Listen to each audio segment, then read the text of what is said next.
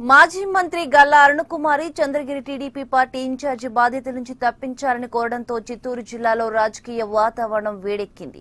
ఈ ఇన్ఛార్జి బాధ్యతల్ని జిల్లా టీడీపీ అధ్యక్షుడు నానికి అప్పగించేందుకు పార్టీ జాతీయ అధ్యక్షుడు చంద్రబాబు సిద్దమవుతున్నట్లు సమాచారం. అయితే గల్లా అరుణకుమారి అలకబూనడం పార్టీ ఇన్ఛార్జిగా తప్పించారని కోవడం ఇప్పుడు జిల్లాలో చర్చనీయాంశంగా మారింది.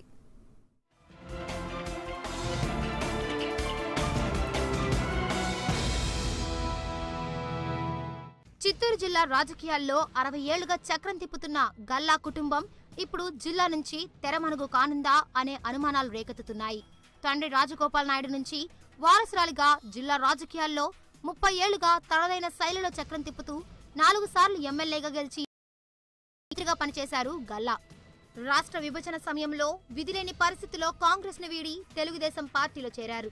కుమారుడు గల్లా జయదేవ్కు గుంటూరు ఎంపీ స్థానం నుంచి పోటీ చేసి విజయం సాధిస్తే గల్లా అరుణకుమారి చంద్రగిరి నుంచి పోటీ చేసి పరాజయం పాలయ్యారు.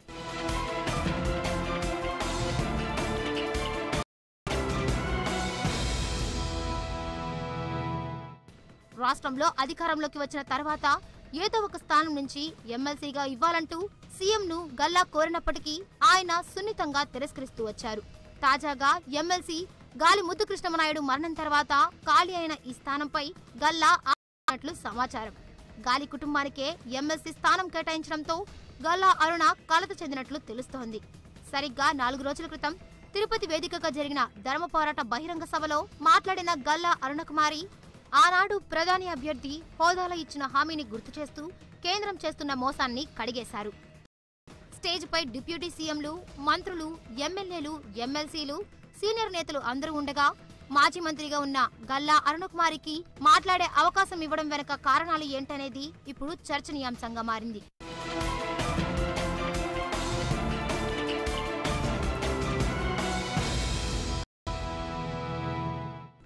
అయితే సభ ముగిసిన తర్వాత గల్లా అరుణకుమారి సీఎం చంద్రబాబుతో తనకు చంద్రగిరి పార్టీ బాధితుల నుంచి విముక్తి కల్పించాలని కోరడంతో వాతావరణం కాస్త వేడెక్కింది. తర్వాత తన కూతురు రమాదేవికి సైతం బాధ్యతలు వద్దంటూ చెప్పడం వెనుక ఆంతర్యం ఏమై ఉంటుందనేది అంతు చిక్కడం లేదు.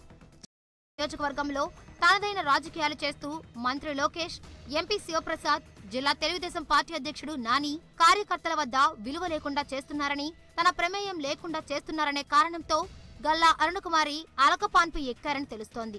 పార్లమెంట్లో కుమారుడు జయదేవ్ ప్రత్యేక హోదా కోసం కేంద్రాన్ని నిలదీస్తూ మన్ననలు పొందుతుంటే తల్లి అరుణకుమారి పార్టీని వీడేందుకు చేస్తున్న ప్రయత్నాల వెనుక కారణాలు అన్వేషించే పనిలో నిమగ్నమయ్యారు టీడీపీ నేతలు.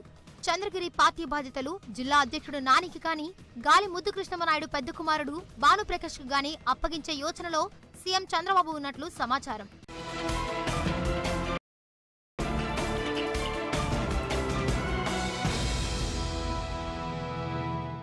అయితే రానున్న ఎన్నికల్లో గల్లా అరుణకుమారి పలమనేరు స్థానం నుంచి వైసీపీ అభ్యర్థినిగా బరిలో దిగుతారనే సమాచారం ఇప్పుడు జిల్లాలో చర్చనీయాంశంగా మారింది.